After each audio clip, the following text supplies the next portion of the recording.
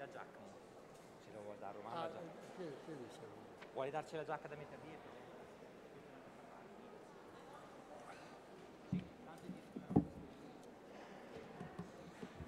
Buonasera, buon pomeriggio anche. Allora, oggi abbiamo il piacere di avere con noi Gianrico Carofiglio, che invito a venire. Vieni Gianrico, vieni, vai, vai, vai, vai, vai. E anche Emanuela Giampaoli.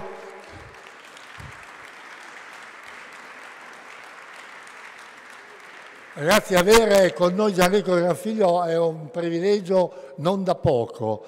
Eh, sono convinto che quasi tutti voi, o la stragrande maggioranza, conoscono il suo modo di scrivere. Lo dicevo quando è arrivato, io l'ho finito eh, da qualche giorno, la, la caratteristica del, del, Non voglio toglierti niente, Emanuela, eh, ma la caratteristica del, del leggere, caro figlio, è che come cominci non ti molla più. È vero, signora? Vedi? È così. Allora, mm, noi siamo felicissimi di averlo con noi. Il libro è Rancore, pubblicato da Einaudi. Scusate, è naturalmente eh, Rancore pubblicato da Einaudi ed è il terzo incontro della Voce dei Libri. Per chi non fosse mai venuto, la Voce dei Libri è un'iniziativa fatta, organizzata dal Comune di Bologna e l'istituzione biblioteche con il contributo essenziale di COP Alleanza 3.0. Come sapete ogni iniziativa ha un supporto economico e oltre a Coppa Alleanza c'è una banca, anche questo mi preme dirlo perché sono poche le banche che finanziano la presentazione di libri. Fanno altre storie, ma presentare libri, la BPER presenta libri con grande eh, entusiasmo e con un sostanziale supporto. Allora, è il terzo degli incontri, se volete vedere il programma intero lo trovate lì eh, sopra al tavolo all'ingresso dove ci sono i libri, l'autore alla fine prese, eh, firma copia del libro. Voglio solo dire che questa iniziativa è venuta fuori da un grande libro di Ezio Raimondi che si chiamava La voce dei libri. La voce dei libri per chi ama la lettura, andate in libreria, costa pochissimo, ma è una, un'entusiasmante carrellata sulla bellezza del leggere e cosa può regalare un'altra 30 secondi di rubo, non lo so se te l'ho già letto, ma abbiamo messo qui eh, eh nell'invito una, poche parole di Mattarella all'inaugurazione della Fiera del Libro di Torino di due anni fa, ma non è invecchiata per niente. E dice Sergio Mattarella, che avere un Presidente della Repubblica come questa non è poco, eh, dice la lettura non può essere ridotta a consolazione o semplice svago è semmai una porta sul mondo che ci apre alle conoscenze di esperienze lontane, che ci mostra cose vicine che non avevamo notato o capito, che ci fa comprendere le grandi potenzialità dell'umanità che ci circonda, perché leggere ha a che fare con la libertà e con la speranza. Io credo che un discorso del genere all'inaugurare un salone del libro vada ripetuto molte volte per far capire cosa vuol dire leggere. Un'altra cosa prima di dare la, la parola a Giampaolo, se non l'avete mai visto sul terzo canale, lo dico perché è importante, Gianrico Carfiglio cura una trasmissione che si chiama Dilemmi, Rai 3 alle 11.20 di sera del lunedì. Vedo delle teste che... Beh, è stupendo. E lì è proprio lui. Stasera lo vedrete in persona, ma lì lo vedete come ragiona, come si comporta, come autorizza le parole come le reprime e via di seguito. Do la parola a Giampaolo. Vai, grazie. grazie.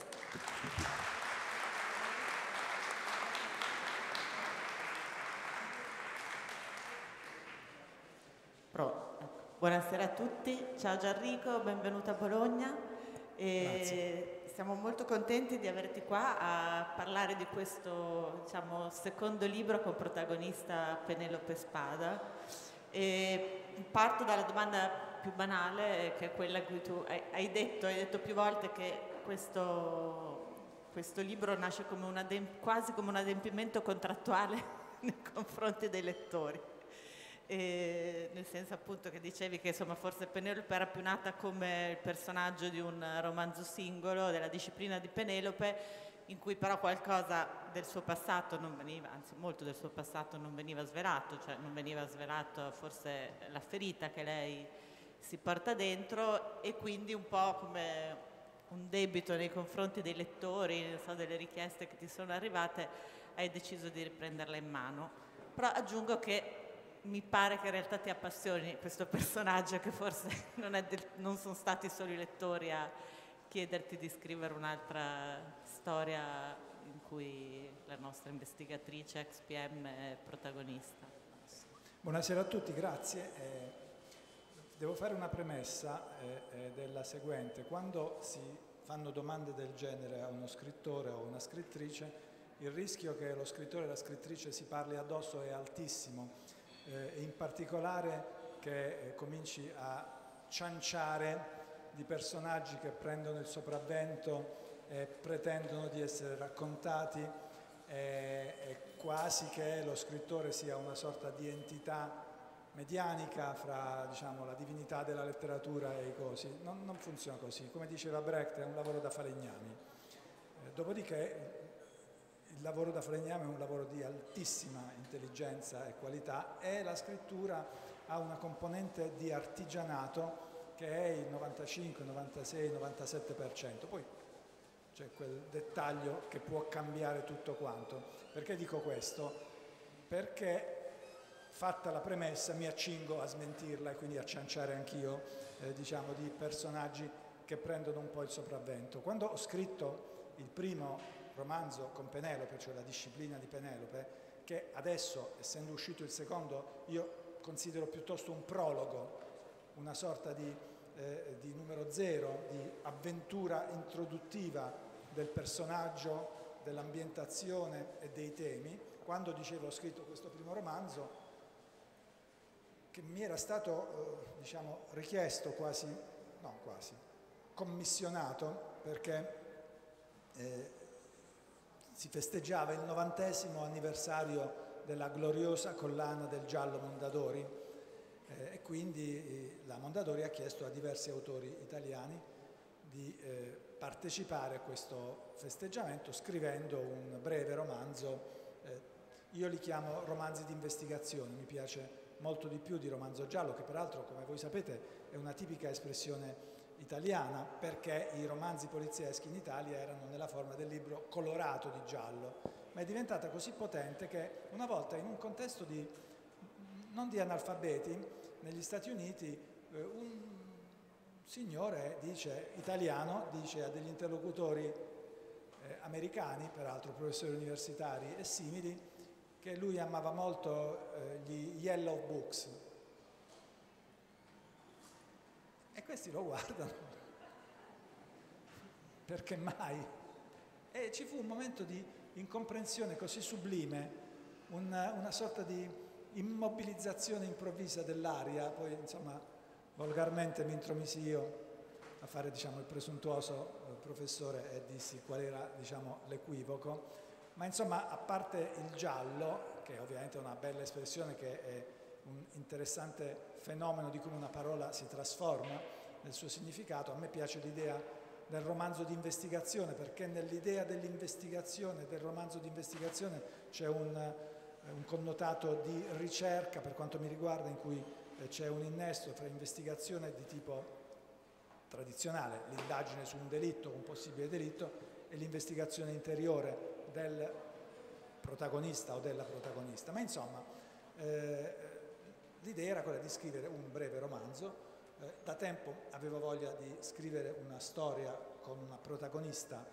femminile, che poi una, una protagonista maschile sarebbe difficile, eh, e quindi mi era parsa l'occasione migliore per fare questo esperimento senza troppo pericolo. In fondo, sì, appunto, io mi do un tono dicendo romanzo di investigazione, un giallo, non, magari se non viene tanto bene diremo che è stata un'esercitazione.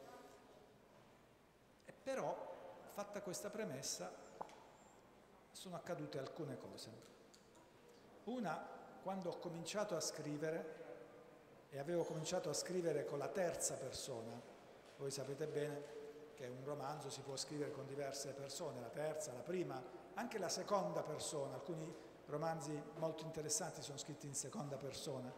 Eh, io, io, stesso ho eh, scritto metà di un mio romanzo in seconda persona e ognuna di queste scelte eh, esprime eh, un rapporto di vicinanza o distanza rispetto al personaggio e alla storia. Avevo cominciato con la terza persona, in fondo una donna su via, e dopo un po' però mi sono detto che era una vigliaccheria eh, e quindi ho cominciato a scriverla in prima persona. E quando ho cominciato a scriverla in prima persona, eh, eh, adesso inizia la fase delle ciance dello scrittore posseduto dal demone, e lei ha cominciato a, a prendersi un sacco di spazio, ha cominciato a eh, eh far intuire che c'era qualcosa di tremendo nel suo passato, tutta roba che non poteva essere in quel breve romanzo che andava scritto in tempi brevi. Quindi ho raccontato la storia eh, della investigazione di quel romanzo, ho raccontato alcune cose di quel personaggio e ho fatto intuire, ma non come una scelta deliberata, tutto quello che c'era dietro. Qualcuno di voi avrà sentito parlare del principio dell'iceberg di cui parlava Hemingway, quello per cui uno scrittore che faccia seriamente il suo lavoro deve sapere dei suoi personaggi e delle loro storie molto di più di quello che scrive. Quello che scrive, quello che c'è nel libro è la punta dell'iceberg, ma quello che tu, se non sei un cialtrone, devi sapere sui personaggi e le storie è molto di più. Io sempre rimango molto perplesso quando parlando con altri autori dice vabbè ma questo, questo come si spiega? Ah che ne so, cioè non, non va bene, è una questione di etica della scrittura. Comunque, ho fatto anche la lezioncina di etica della scrittura, eh, eh, tutta quella roba lì era, era lì sotto, ma non pensavo di doverla svelare perché nella più gran parte dei casi semplicemente non si svela, serve a dare equilibrio alla storia dei personaggi. E poi, come hai detto, eh, c'era, c'era una cosa enorme non svelata, cioè che cosa le era successo, un sacco di lettori devo dire, in molti casi piuttosto seccati, diceva, vabbè, eh, eh arrivati alla fine che le era successo?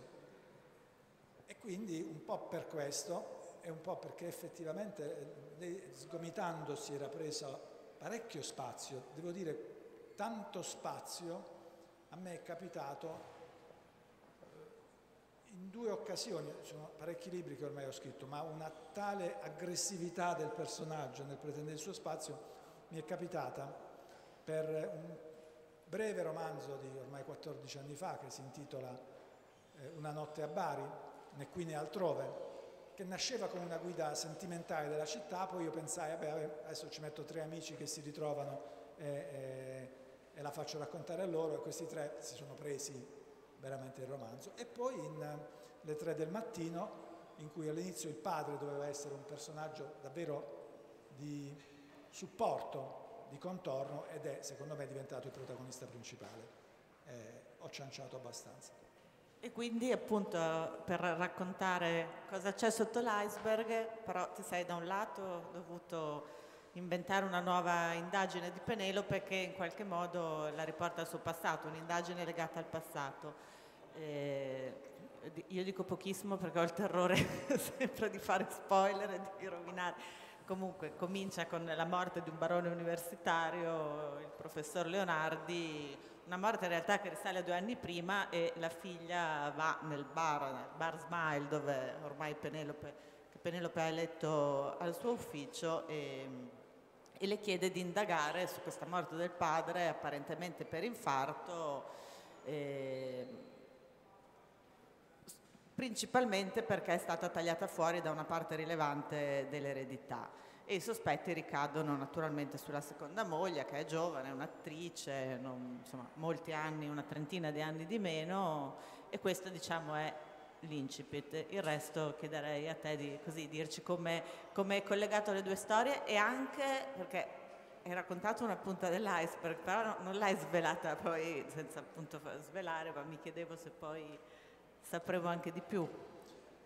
Ah, intanto vorrei dirvi che ci sono tre romanzi in uno, quindi vi suggerisco di comprarlo perché è conveniente, diciamo. Fatta questa elegante premessa, eh, c'è in questo libro il romanzo classico di investigazione, cioè l'indagine su un fatto che non si sa se sia un delitto o no, e lo si scopre alla fine se è un delitto o no, apro una parentesi, a me piace molto giocare con l'idea di un'indagine su qualcosa che non si sa se è qualcosa su cui indagare e per cui alla fine si può anche scoprire che non c'è proprio un bel niente, perché il mondo reale è così, il mondo reale è molto meno ordinato, diciamo, eh, delle storie, eh, dei romanzi che sono un modo per mettere ordine nel caos per l'appunto.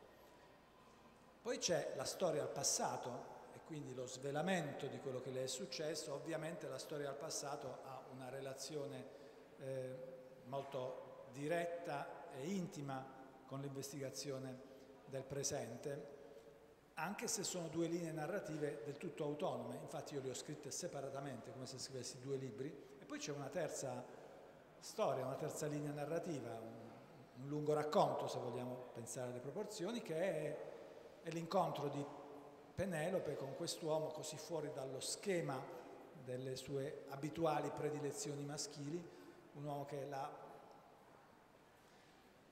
fa saltare alcune sue categorie di lettura del mondo maschile, categorie non particolarmente ottimistiche sugli uomini.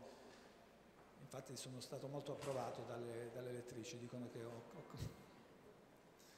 eh, perché a un certo punto lei dice da, quando, da, quando, ero una ragazzina, ero una ragazzina eh, eh, gli uomini mi desideravano, ero bella, ero intelligente, ero simpatica, eh, gli uomini mi desideravano, ma nel fondo io lo sapevo che avevano paura.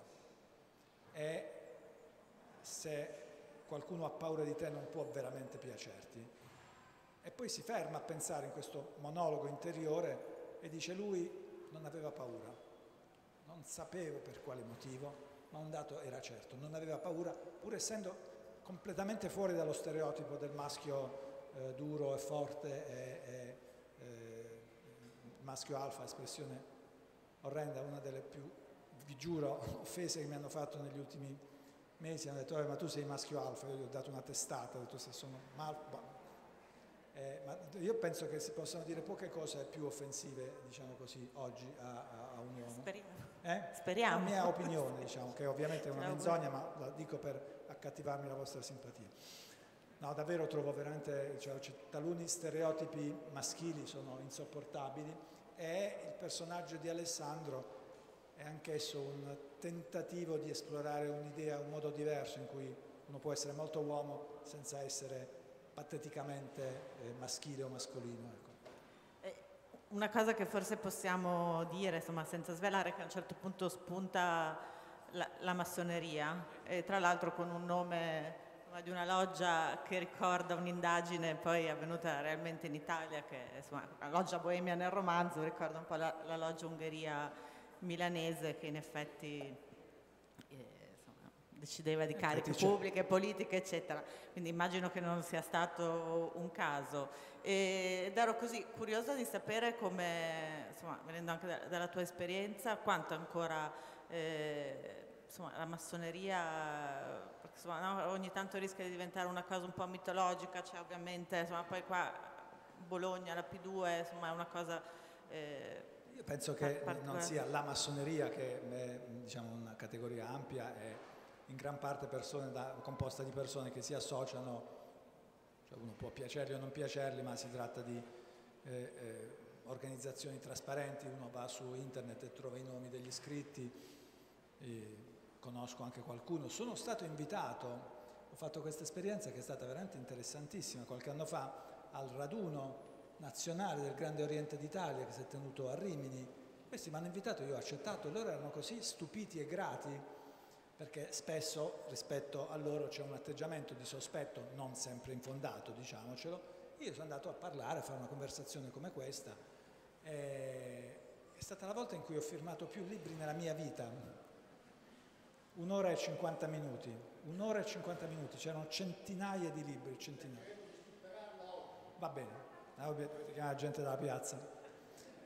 E e quindi insomma, dicevo, ci sono quelle che loro chiamano le obbedienze ufficiali, obbedienze sarebbero le diverse scuole, Grande Oriente, Loggia di Rito Scozzese, un'altra cosa ancora, che sono, io, non ho nessuna attrazione per questa roba, ma eh, c'è, chi è appassionato dal punto di vista culturale, c'è chi partecipa perché ritiene, a volte anche a ragione, che questo possa servire per carriera o affari, ma questo vale anche per altre associazioni, eh, diciamo, più o meno dello stesso tipo. Poi ci sono eh, eh, quelle che loro stessi chiamano, io ho studiato parecchio, le logge spurie, cioè o le logge segrete all'interno di una massoneria ufficiale o proprio gente che esce e costituisce, e questo c'è nel romanzo, un, un'associazione diversa che chiamano massoneria ma eh, eh, non appartiene a nessuna obbedienza e in qualche caso eh, abbiamo visto in passato e forse anche in un passato recente sono luoghi diciamo nel migliore dei casi di affarismo poco trasparente in altri casi anche di commissione di reati. Perché ho preso diciamo, la suggestione della massoneria? Perché è una suggestione nel senso che uno eh, se stai parlando di una storia investigativa che ha particolarmente preso chi indagava, beh, devi immaginare una preda, eh, diciamo, una posta alta. E diciamo, il fatto che uno stia indagando su un'associazione segreta che condiziona eh, nomine di magistrati, professori universitari, appalti e roba del genere, beh, è una posta alta, quindi non svegliamo nulla, possiamo dire che l'indagine del passato riguardava una cosa di questo genere. E io l'ho scelta essenzialmente per questo. Qui c'era proprio una ragione di ingegneria narrativa, di costruzione della storia e mi piaceva anche di poterci riversare tutto quello che avevo letto per mia curiosità eh, sulla massoneria, che, che su, su, su tante cose che sono a volte bizzarre ma molto interessanti. Per dire, negli Stati Uniti la massoneria è popolarissima ed è molto più alla luce del sole di quanto non sia qui, e uno dei ricordi più impressionanti di un mio viaggio negli Stati Uniti è stata la visita del Tempio massonico di Filadelfia, di Filadelfia, che è un posto incredibile, è come una cattedrale eh, ed è nel pieno della città e celebra diciamo, il fatto che la storia americana è segnata da presidenti e in generale uomini potenti iscritti alla massoneria. Quindi sapevo un sacco di cose e siccome nella scrittura vale la regola del maiale, per cui non si butta via niente, e allora le ho utilizzate. Invece poteva avere molti altri titoli, credo. Poteva avere molti altri titoli, cioè, penso che sia forse anche un titolo in cui avevi voglia di, di, di dire qualcosa, forse al di là del romanzo? Sì, sì Rancore. Beh, allora, Rancore è stato quasi la mia prima scelta e poi parlandone in casa editrice, insomma, c'è chi ha fatto delle obiezioni, ha detto no, per ora ancora è un titolo, un titolo impegnativo, la gente si spaventa, non comprano il libro quanti lo dovrebbero comprare, eh, fa paura, troviamo un'altra cosa, cioè l'idea di addomesticarlo, che insomma eh, bisogna anche rispettare le esigenze commerciali, insomma. Eh, ne abbiamo parlato a lungo, c'erano delle alternative tutte molto più deboli, molto più eh, rassicuranti. Tipo? Ma a me se le dico però mm, forse non, no perché alcune potrebbero, abbiamo anche pensato potessero ah, svelare troppo, però erano, una, una era eh, i compagni di banco per dire, che non era male, però era molto più debole.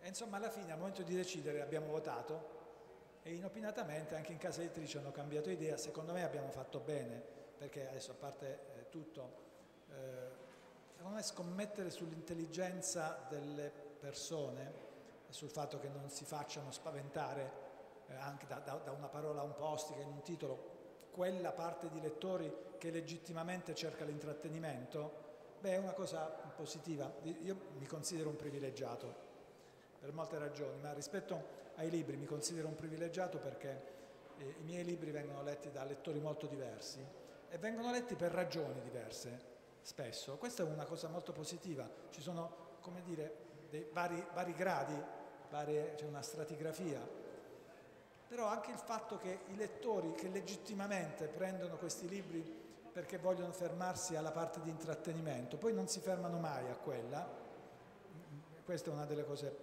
diciamo, positive, secondo me, se in un libro non c'è solo quello, che qualcosa o molto filtra oltre l'intrattenimento, però io, penso che sia giusto eh, scommettere sull'intelligenza delle persone. E, eh, visto che Romano lo ha citato, una scommessa sull'intelligenza delle persone è proprio quel programma eh, che in modo diciamo, molto avventuroso e quasi casuale.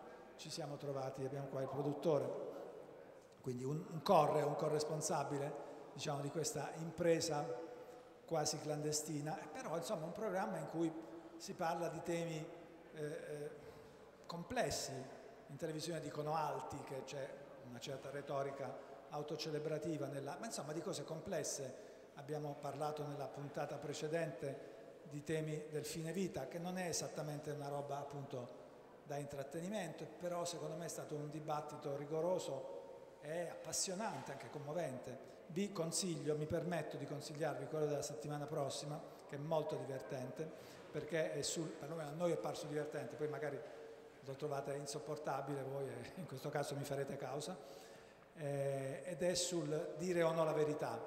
Bisogna dire sempre la verità o è giusto o è lecito, è morale non dirla in qualche occasione e devo dire abbiamo avuto, eh, il programma si innesta su una introduzione del tema da parte diciamo, del conduttore, che sarei io, il mio squilibrio mentale è dimostrato dal fatto che parlo di me in terza persona, e, e poi c'è un dibattito fra due interlocutori che sono i sostenitori delle due tesi contrapposte. I due interlocutori del lunedì prossimo sono Luca Barbareschi e Chiara Valerio, non potevano essere più diversi Veramente. e devo dire abbiamo visto dei numeri eh, notevoli, cioè abbiamo anche qualche passaggio che potrebbe diventare rapidamente un meme, però era un dibattito alto, ne abbiamo fatto un altro che arriverà forse la settimana successiva sull'impegno degli intellettuali, c'era il capostruttura RAI che era agghiacciato, diceva ma è troppo alta sta roba, io,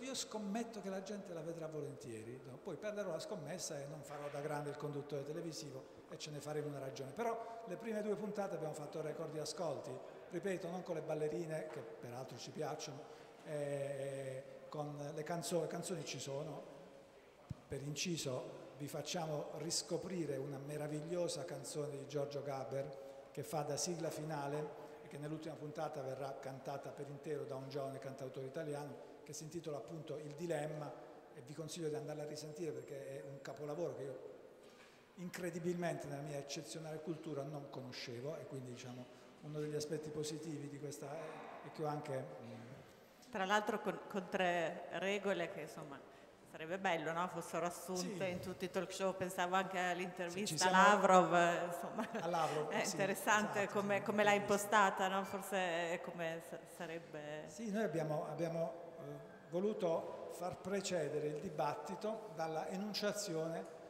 di tre regole che sono il minimo sindacale per me di un dibattito civile, e cioè divieto di attacco alla persona, divieto di manipolazione degli altrui argomenti, cioè non puoi mettere a caricatura quello che ha detto l'altro per poi attaccare la caricatura, devi affrontare quello che ha detto se sei capace, e onere della prova, cioè se fai un'affermazione, soprattutto un'affermazione eccentrica, Vedo che gira per esempio in rete eh, eh, in queste ore l'affermazione che gli ucraini starebbero attaccando ferocemente l'isola dei serpenti perché lì ci sarebbero i corpi degli americani che sono andati lì a combattere e che li devono recuperare.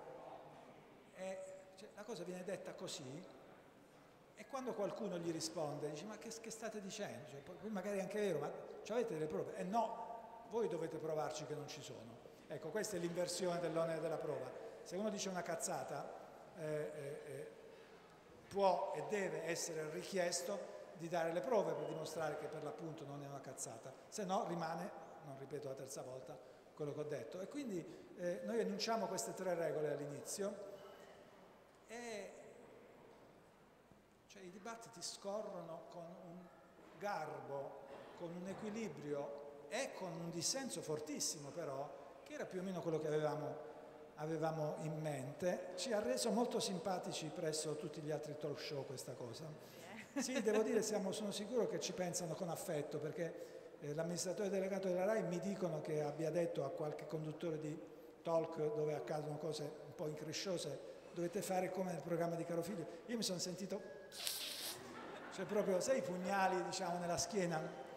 E vabbè, eh, ce ne faremo una ragione, diciamo così. Senti, ma appunto, diciamo che nella, nella, tua vita professionale sei stato magistrato, sei scrittore e poi è quasi una terza professione il tuo, diciamo, l'impegno sulla, sulla, parola, sul linguaggio, dalla manomissione de, delle parole, a, del coraggio, della gentilezza e appunto anche dilemmi, ha un'impostazione molto etica. E così, come, come, ti è venuta? Nel senso che è veramente quasi, credo, un, un terzo filone del, del, del, tuo lavoro, importantissimo e non so. Uh, la paga era buona. No. Quella no, non è mai In realtà il, io mi accorgo sempre che quando si tocca questo argomento il, il rischio, diciamo, del, del, ancora una volta, dell'enfasi autocelebratoria è altissimo, però eh, io facevo il magistrato eh, facendo il magistrato mi sono progressivamente reso conto di quanto la torsione dell'italiano in una lingua apparentemente italiana, ma una lingua diversa, altra, che si verifica nel mondo della giustizia come nel mondo della burocrazia e in altri mondi disciplinari, non sia semplicemente un fatto da, da, da storie divertenti, che se volete vi posso anche raccontare, anzi lo farò, eh, ma è una questione che ha a che fare con l'esercizio eh, opaco del potere. Se chi esercita il potere parla in maniera non comprensibile, scrive in modo affetto da oscurità non necessarie, perché è ovvio che una lingua tecnica ha delle oscurità inevitabili, e allora questo dipende da molte ragioni che non sto a enunciarvi qua, ma una di queste, la più grave probabilmente, ha a che fare con una gestione, una manipolazione del potere che è molto poco democratica, mettiamolo così. La, la, la, spinta, la, spinta, fondamentale è stata quella e anche il fatto che ci fosse nelle pieghe della riflessione sulle lingue, che rientrano nella nozione di italiano ma sono altro, ci sono vari spunti, anche quelli divertenti. Non, c'è un aneddoto meraviglioso stavo anche per dire che fa ridere, poi c'è mio fratello che eh, ha lavorato e lavora nel teatro, mi dice non devi dire mai che fa ridere una cosa prima, perché se poi non fai ridere fai una figura orrenda.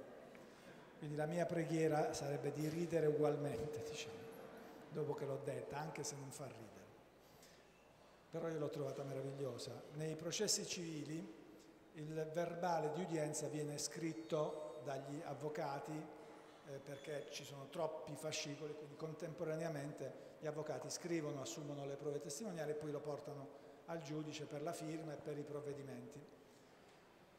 E ehm, questa è una prima premessa. La seconda premessa è che di solito quando un avvocato vuole sostenere la sua posizione facendo riferimento all'orientamento della Cassazione, magari l'orientamento della Cassazione è maggioritario o unanime, dice che unanime giurisprudenza è nel senso della tesi sostenuta.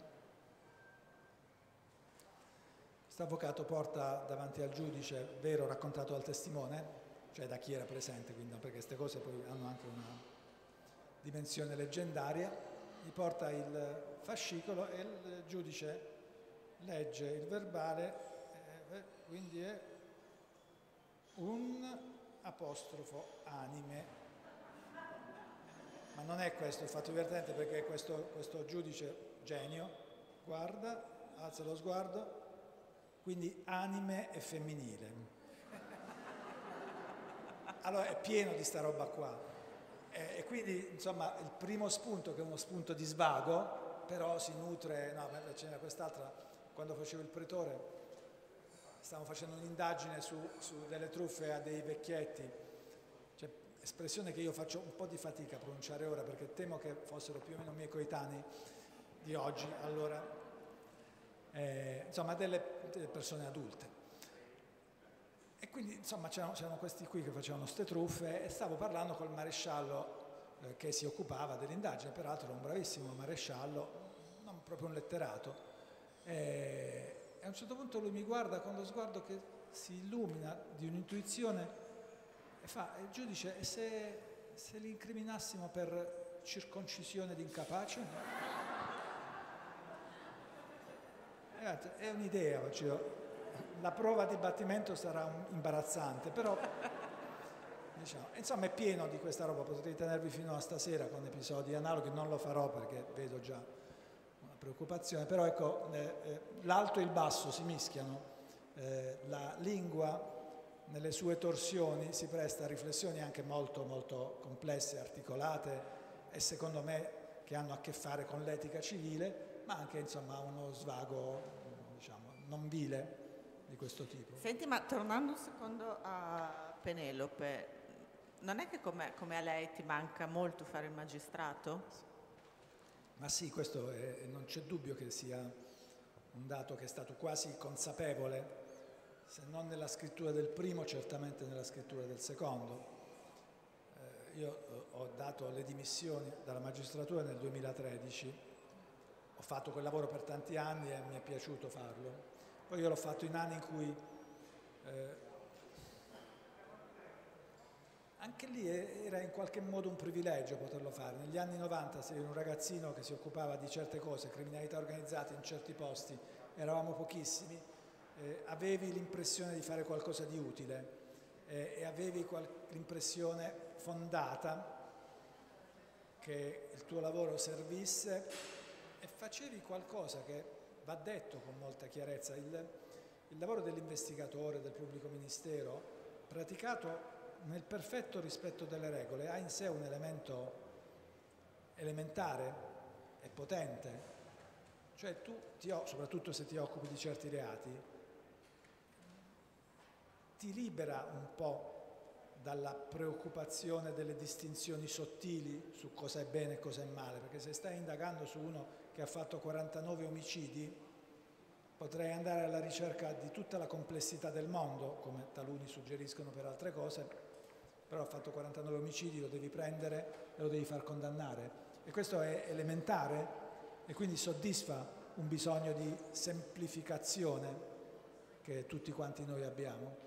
Quindi io l'ho fatto in anni in cui eh, eh, c'era tutto questo, eravamo pochi, questo implicava anche un certo pericolo personale, però eh, io ho nostalgia di tutto quello che c'era allora. Nostalgia non significa rimpianto, cioè io penso di aver fatto bene ad andarmene in un momento in cui mi ero reso conto che la scrittura era diventato il lavoro principale e che quindi non potessi fare il magistrato come secondo lavoro. Peraltro eh, se fossi ancora un magistrato adesso farei il capo di qualche ufficio e mi annoierei sanguinosamente perché il lavoro bello era quello che facevo io e quello che faceva Penelope, cioè il lavoro dell'investigatore mm, di chi si occupa di quella roba là, per cui ho momenti di nostalgia e quindi eh, mi è sembrato un buon modo per raccontarla in un personaggio che per tanti aspetti così diverso da me, però ci sono,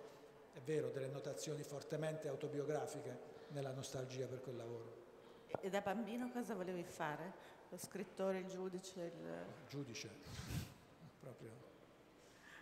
No, da bambino dicevo le cose più bizzarre, eh, alcune credo perché volevo dare l'impressione di essere un bambino intelligente, quindi in un certo periodo dicevo che volevo fare lo psichiatra, non avendo la più pallida idea di cosa facesse lo psichiatra.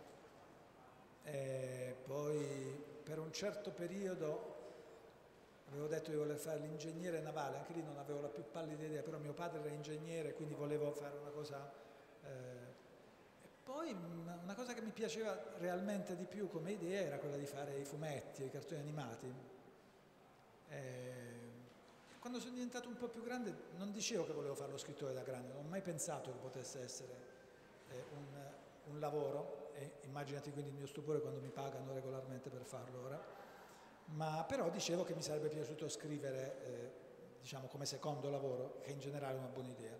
Questo da sempre? Cioè da, sì, da... sì, da quando ero, sì, quando ero, quando ero piccola. Beh, beh, io sono un buon esempio della teoria psicanalitica della sublimazione.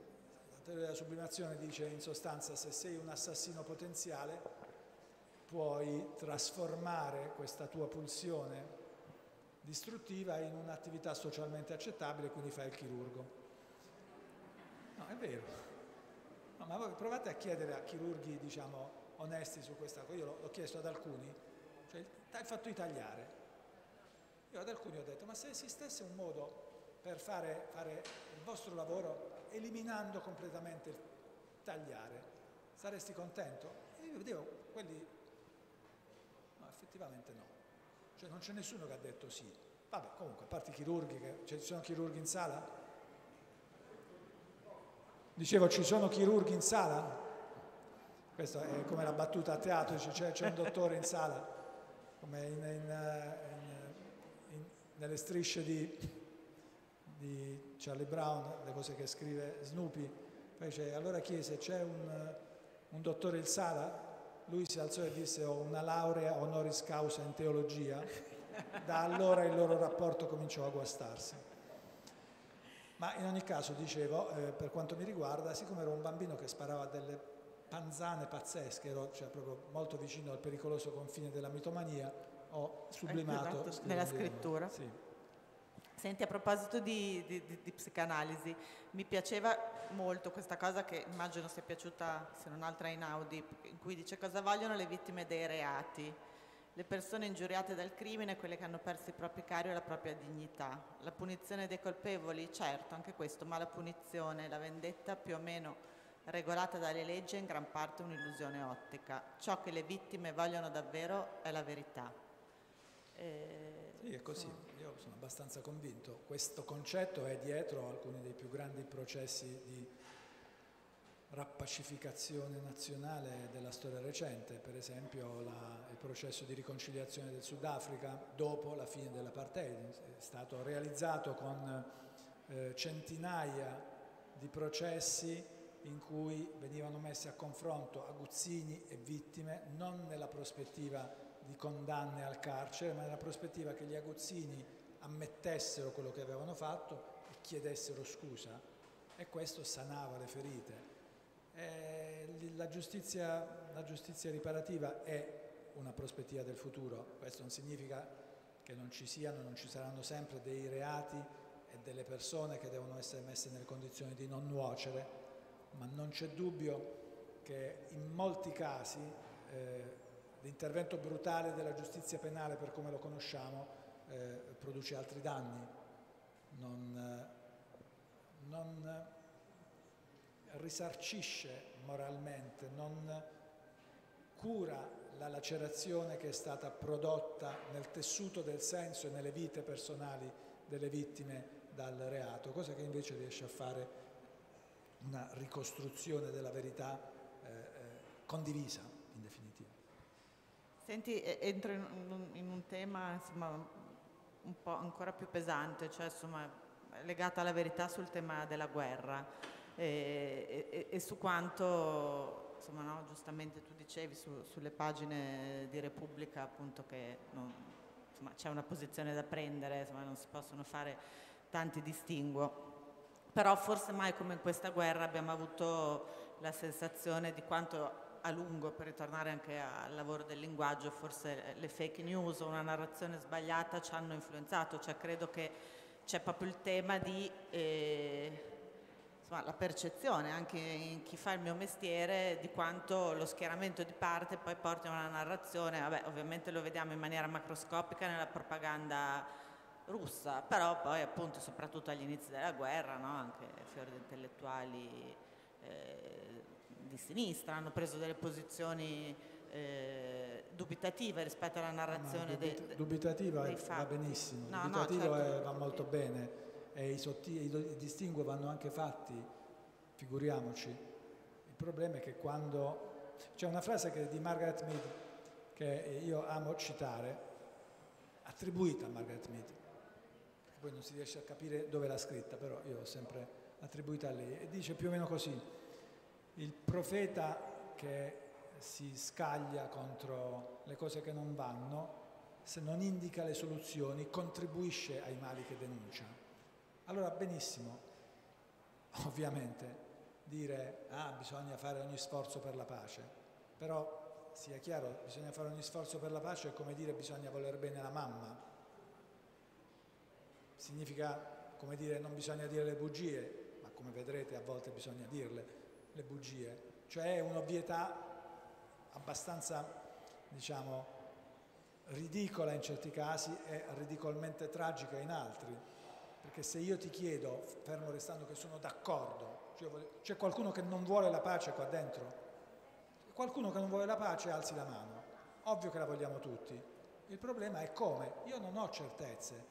Vedo, ieri sono passato, sono subito scappato via, ci sono stato 5 minuti su uno di quei talk di cui ci ameranno molto.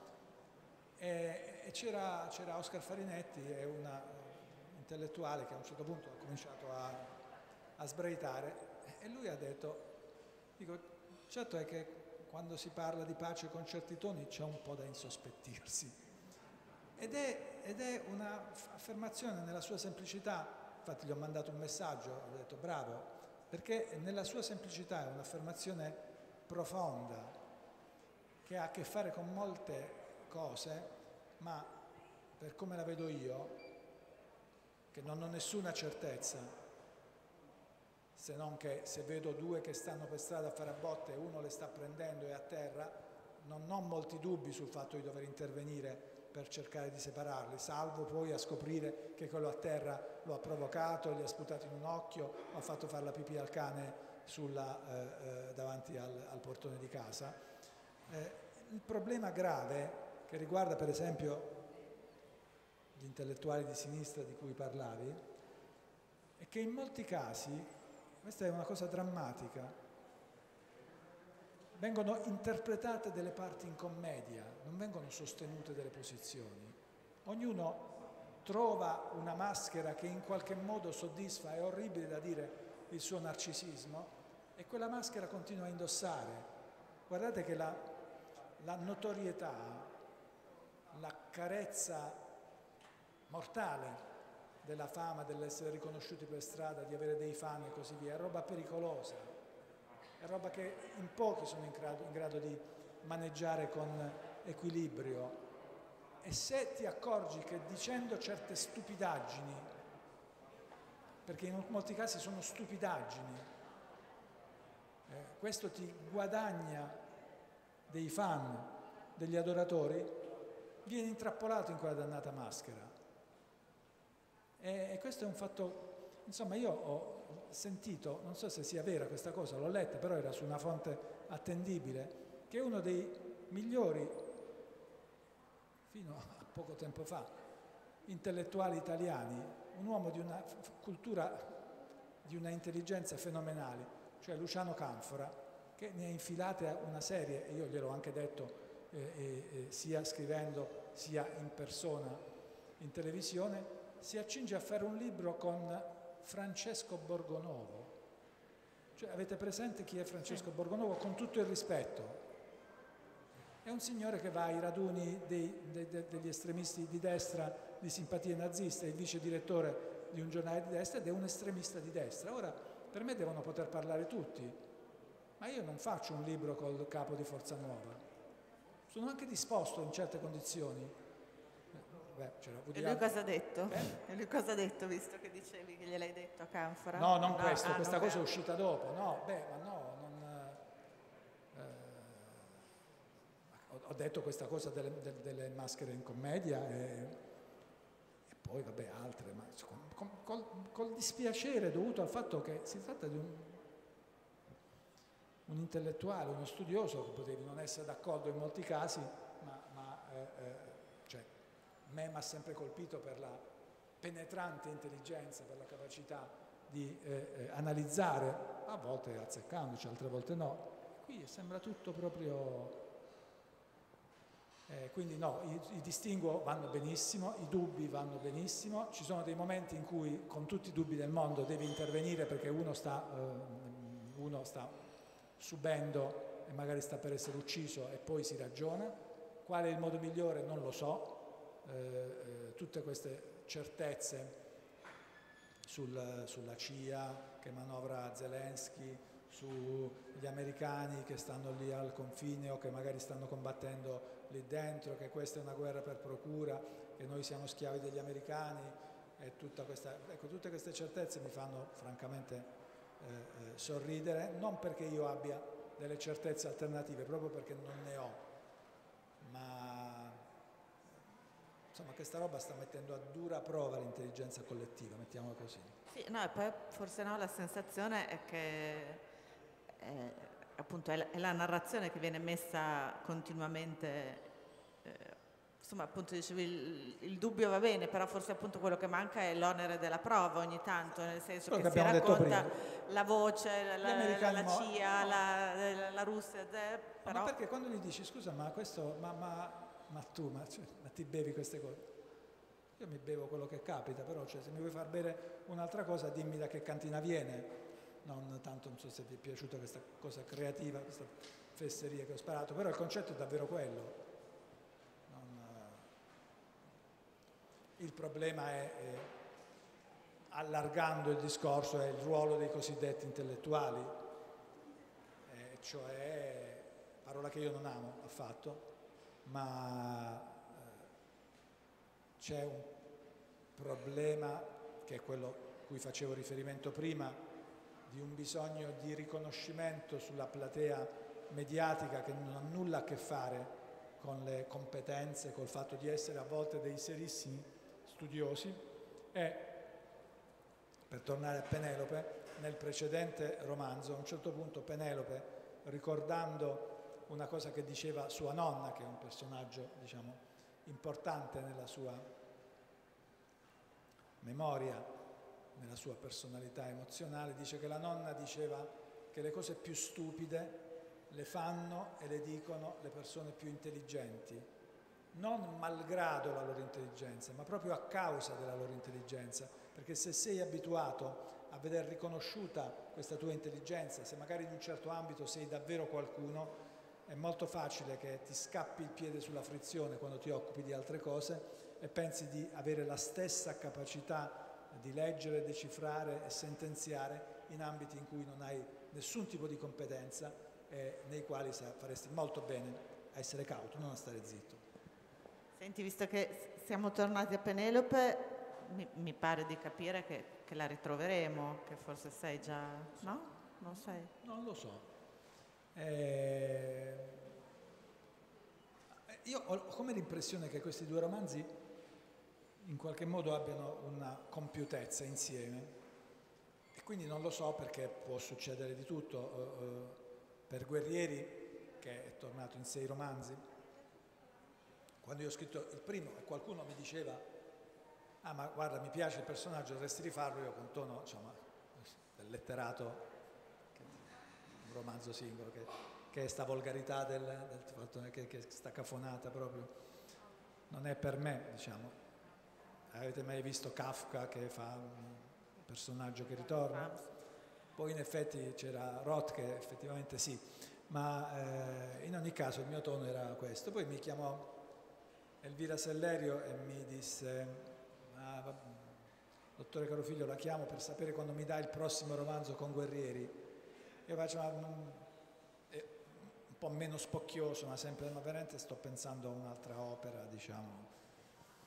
Non credo proprio, non, non, non è nei miei programmi silenzio di gelo dall'altra parte. Ah, quindi lei non vuole fare, mm, veramente non, non credo Beh, è un grave errore, ci pensi su. E io quando raccontavo questo aneddoto, allora facevo il magistrato, dicevo che da magistrato arrestavo per estorsione per molto meno. Quindi spontaneamente nei due giorni successivi decisi che avevo voglia di fare. In realtà fu, fu un'intuizione giustissima perché Guerrieri è un personaggio che vive in un romanzo, in un macro romanzo, che è di sei macro capitoli, forse un altro, non lo so, e Penelope non lo so ancora. Non, lo stai scrivendo? Nuovo Penelope? No, un nuovo, uno, uno un nuovo libro?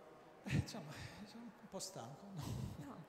no, eh, no c'è un, un, libro che è una cosa del tutto diversa, che è nata da un podcast che un anno fa abbiamo fatto mia figlia e io in maniera del tutto casuale.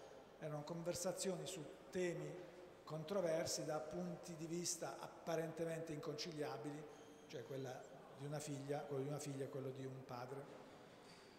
Figlia di anni? Ancorché giovanissimo. Eh, fino a eh, figlia di anni? E di anni ora 27, allora ne era 26, ma anch'io ero più giovane un anno fa. Eh, e podcast che è nato proprio come un gioco, che è uscito sul quotidiano domani. E è piaciuto, insomma, praticamente sono cominciato ad arrivare gli editori che chiedevano di fare il libro, che poi è ovviamente una cosa diversa, e ci siamo trovati nel mezzo di un'asta per questo libro. La, la ragazza che è ancora alla ricerca di un suo posto nel mondo si trova a scrivere questo libro con me, che un, sarà un libro ho il sottotitolo sicuro, Manuale di conversazione per generazioni incompatibili. Eh, il titolo dobbiamo ancora concordarlo, anche se c'è un'ipotesi, quindi questo sarà il prossimo, quindi un, un dialogo saggio su alcuni temi della modernità, poi vediamo l'anno prossimo che cosa... Invece Penelope si fa mettere in crisi a un certo punto dalla domanda di Alessandro su cosa leggi e dice un, non pensavo che una domanda così potesse mettere così in crisi una persona e tra l'altro insomma, si dà un appuntamento nelle librerie, insomma, un grande omaggio alle, libre, alle grandi librerie milanesi. E così avevo voglia di così magari chiudere chiedendo cosa leggi, cosa ti è piaciuto delle ultime cose che hai letto e quali sono le librerie allora, che ami di più? Beh, ma in tutte le città ne ho più di una, quindi eh, non, eh, no, sono, sono, schedato, diciamo così. All'epoca ero veramente schedato dalle librerie perché leggevo gratis, ora vedo che è diventata una cosa così comune. Eh, Feltrinelli a Bari hanno il divano dove ci sono questi signori che vanno tutti i pomeriggi a leggere, nessuno gli dice niente, io vedo quelli che mettono il libro a posto col segnalibro addirittura e quindi la, la, la questione ha perso diciamo, del fascino banditesco che aveva ai miei tempi, che invece andavo in libreria e leggevo di nascosto e venivo guardato con aria, diciamo, minacciosa dai librai, ma, e quindi ero schedato, però no, ci sono insomma, tantissimi, tante, tante librerie che amavo, per esempio a Firenze dove ho vissuto, dove ho, il, ho cominciato l'altro lavoro, purtroppo sono chiuso, un grandissimo dispiacere, perché erano posti in cui ero tanto affezionato. Cosa sto leggendo? Dunque ho finito di leggere un romanzo un paio di giorni fa di Ethan Hawke, che è l'attore, che è uno scrittore di qualche qualità, aveva scritto un bellissimo romanzo anni fa che si intitolava, si intitola Mercoledì delle ceneri e questo qui è un, un buon romanzo, molto diciamo per gli amanti del teatro perché racconta di una messa in scena di un Enrico IV, ma con eh, insomma No, l'ho letto dall'inizio alla fine, non l'ho abbandonato, cosa che mi succede con almeno la metà delle cose che comincio. E poi sto adesso, ho cominciato a leggere, leggerò oggi un racconto che mi è stato suggerito in libreria, pubblicato da Delphi di eh, Shirley Jackson, che è una scrittrice che non conoscevo, si intitola La lotteria, e poi ho cominciato anche a leggere, trovo che sia bravissima, eh, Donna, il secondo romanzo di Donna Tartt, che era il piccolo amico. Secondo me lei è una scrittrice veramente molto molto brava. Dio di illusioni è un grande romanzo, vediamo questo. Ci vuoi dire cosa hai abbandonato di recente? Come? Ci vuoi dire cosa hai abbandonato di recente, magari non di colleghi italiani? In realtà ho letto due libri di autori italiani negli ultimi mesi, li ho letti per intero e mi sono piaciuti, cosa che mi, mi, siccome non è frequentissimo, eh, sono anche due libri che partecipano allo Strega, eh, Spatriati di Desiati, un, un bel romanzo, gran bel romanzo, e anche il libro della Raimo, che forse non è romanzo come struttura, è un memoir, però è molto ben scritto, li ho letti tutti e due volentieri, quindi questa è una serata, la serata della bontà, diciamo. Non, eh, non, non dico niente, niente, di male su, no, non dico mai niente di male su nessuno, perché sono un vigliacco, quindi... No, Senti, no, per, per, concludere abbiamo citato Guerrieri, di Penelope abbiamo parlato a lungo, Fenoglio diventerà una fiction. Cominciano a girare la settimana prossima. Sì. Con Alessio Boni nei panni Boni, di sì. quanto ti ha coinvolto e quanto non so com- La scrittura ti... televisiva? La scrittura ho letto due, due, ho capito che hai partecipato alla sceneggiatura forse. Eh, in di... realtà sì, ho partecipato, ma insomma più, e come, più come sovrintendenza. Insomma, come ti relazioni con questa cosa, insomma, della trasposizione no, di se uno ha de, delle, delle, dosi abbondanti di Xanax a casa può, può avere rapporti con la RAI eh, la parte fiction della RAI. No, in realtà è un lavoro diverso, non, non, non mi appassiona particolarmente, ho seguito eh, in parte su alcune cose per garantire la dire, credibilità delle storie, dopodiché eh, secondo me è sano che l'autore dei romanzi non vada troppo da vicino alla macchina che produce i film, che saranno necessariamente una cosa diversa, devono esserlo e quindi è giusto che appartengano a chi, a chi li fa i film. Che saggezza veramente.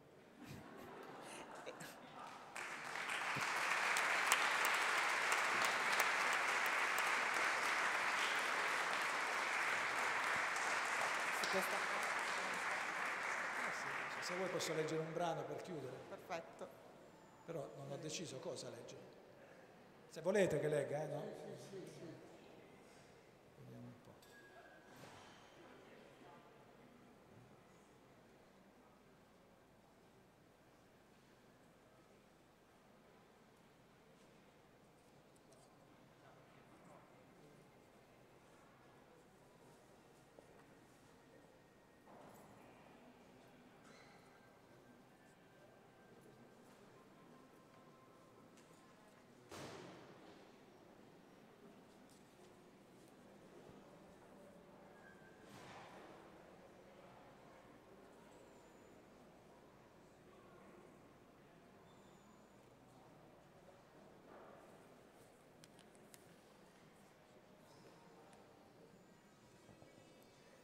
Penelope che sta parlando con Alessandro, questo quest'uomo che ha conosciuto, che fa il maestro elementare, un mestiere che raramente fanno gli uomini, il 2% credo che siano.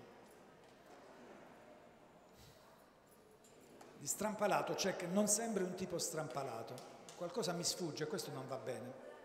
Mi hai fatto tornare alla mente ricordi cui non pensavo da un sacco di tempo. È Penelope che parla. Al liceo amavo materie come biologia e chimica, mi piaceva osservare al microscopio, ma soprattutto ero bravissima in matematica e fisica. Secondo il professore ero molto portata.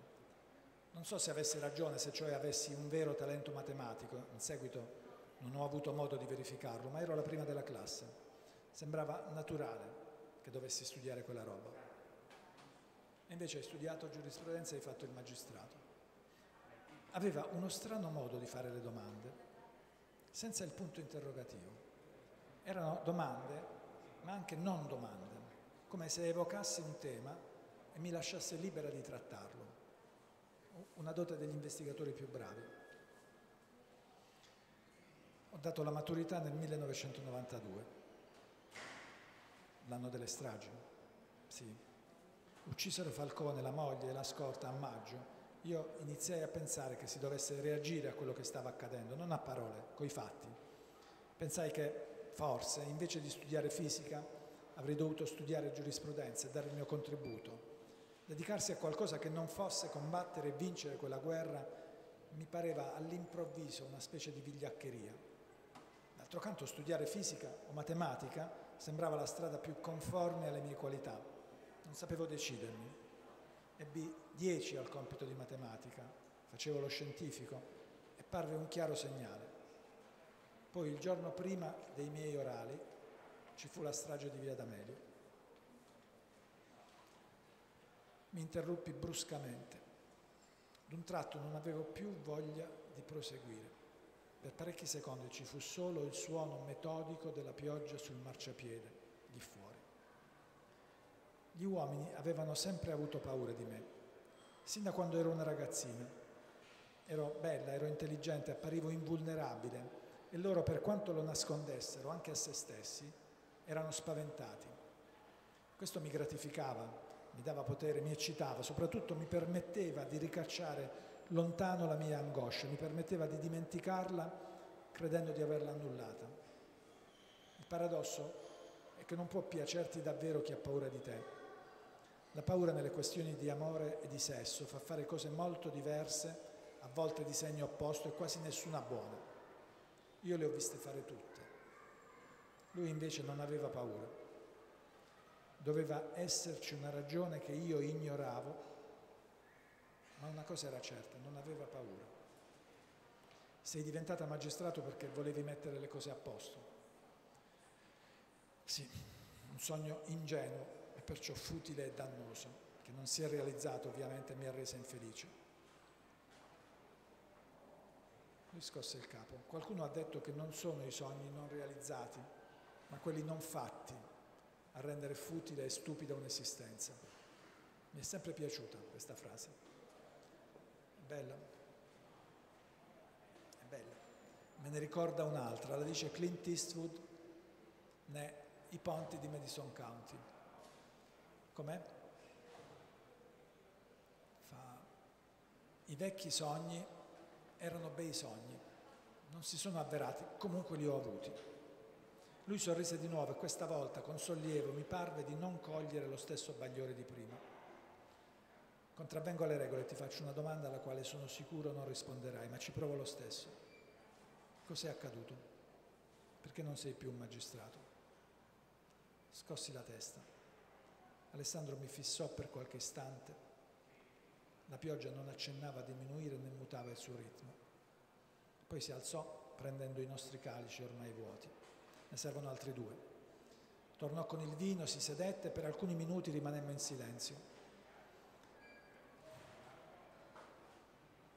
Ho sempre pensato di essere una persona estremamente adattabile, finché un giorno ho scoperto che non era così e sono rimasta allibita. Alessandro annui come se quello che avevo detto non lo stupisse affatto. Avevi avuto questa impressione? Domandai cercando di controllare l'irritazione nella mia voce, non ci riuscii. Ti dà fastidio? No, risposi troppo velocemente. Va bene, ammisi un attimo dopo. Mi irrita che qualcuno colga le mie debolezze. Io posso anche parlarne ma gli altri non hanno il diritto di notarle. E come l'hai scoperto? Durante l'analisi, la dottoressa mi domandò se mi considerassi una persona capace di accettare il cambiamento e adattarsi alle circostanze. Io risposi di sì, avevo dovuto adattarmi a così tante cose nella mia vita. Mi sembrava non ci fossero dubbi. E lei? Lei non commentava mai ciò che dicevo. Questo mi innervosiva tantissimo. Non commentò neanche quella volta. Cambiò discorso, o almeno a me parve così. Per un istante persi il filo, ebbi l'impulso, ebbi l'impulso di toccarlo, un impulso di una violenza che avevo dimenticato, che forse non avevo mai provato tanto forte. Provai una nostalgia lancinante per il tempo in cui tutto doveva ancora accadere, in cui le cose della mia vita non avevano ancora preso forma, diventando irrevocabili. In che modo cambiò discorso? Mi scossi, domandò se mi fosse mai successo di perdermi da piccolo. Ed era successo. Sì, al supermercato con mia madre. Mentre lei cercava qualcosa su uno scaffale io mi allontanai, almeno credo, non è che questo lo rammenti davvero. Desumo che sia accaduto perché l'unico ricordo preciso è che a un certo punto mi voltai e non vidi più mamma. Non era dove pensavo che fosse e non era da nessun'altra parte. Venni presa dal panico, scoppiai a piangere disperatamente, non so quanto tempo trascorse, per me fu un tempo infinito, prima che sentissi la sua voce alle mie spalle. Che età avevi? Meno di quattro anni. E dopo aver ascoltato l'episodio, la dottoressa ti ha fatto riflettere sul fatto che forse credi di essere adattabile, ma in realtà hai paura dell'ambiente, degli altri e hai bisogno di controllarli? eri lì a origliare, cominci a farmi venire i nervi. Comunque sì, disse che quando a seguito di certe esperienze il bambino si convince che in caso di bisogno l'adulto non correrà subito in suo aiuto, tende a costruire un sistema di protezione come una corazza e si rifugia in comportamenti sempre uguali nella sostanza, anche se apparentemente diversi. In pratica la storia della mia vita. Sto per dirti una cosa che non ho mai detto a nessuno, nemmeno all'analista, ripresi. Molti anni dopo, andavo già all'università, parlai con mamma di quella storia e scoprì che lei si era accorta che l'avevo persa di vista. Non era venuta subito in mio soccorso apposta. Voleva capire come me la cavavo da sola e si era nascosta per osservarmi. Perché non l'hai raccontato all'analista? Mi vergognavo. Per lei, per mamma. Alessandro respirò profondamente, poi si mosse sulla sedia. Non l'ho mai perdonata, continuai. Una volta era già anziana e non stava bene, mi disse che le dispiaceva di non essere stata una brava madre. Era vero, non era stata una brava madre per tante ragioni, però adesso era debole e sperduta e sembrava implorarmi. Mi tornò in mente quella volta del supermercato e non ebbi pietà di lei. Banalizzai, dissi, ma cosa vai a pensare? Nessuno, nessuno è davvero un bravo genitore, è nella natura delle cose, hai fatto del tuo meglio. Stronzate del genere. È stato il mio modo miserabile, vigliacco per non concederle il perdono senza nemmeno assumermi la responsabilità di quella scelta.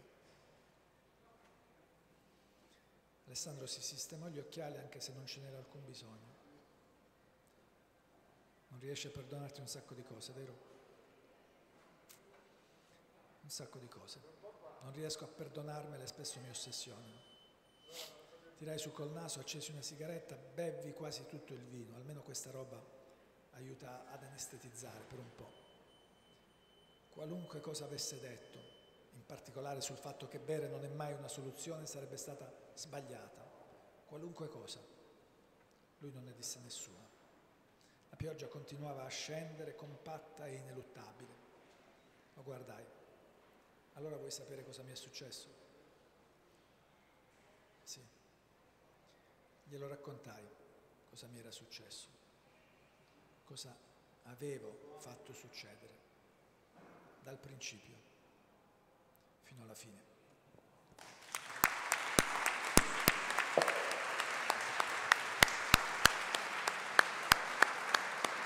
Gra-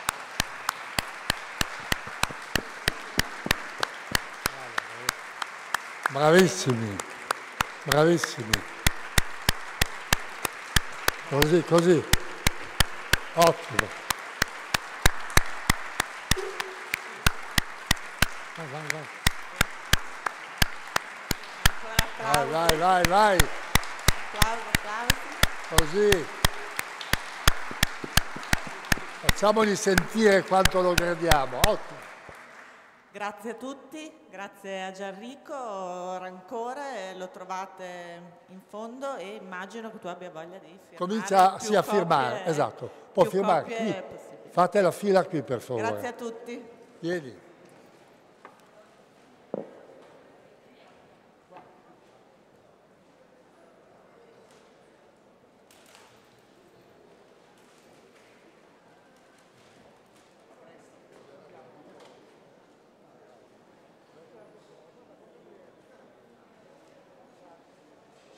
Enrico qua devi venire, eh? qua.